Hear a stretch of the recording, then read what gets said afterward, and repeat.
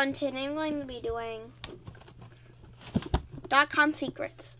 Like and subscribe. Your irresistible offer.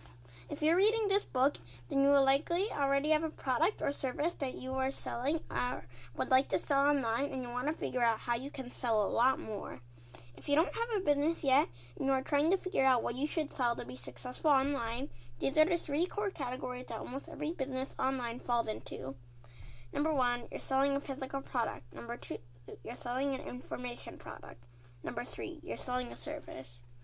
And then I'll go and do and go into more detail on these and on like later. And so basically, like it, the thing, your irresistible offer, it'll be like one of those three. It'll fall into one of those three categories. And so either a product, an information thing, or like a service.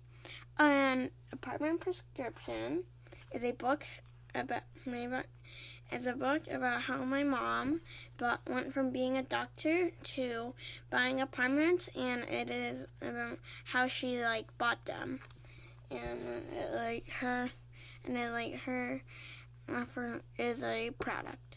Okay, I hope like that. If you did, please like and subscribe. Bye.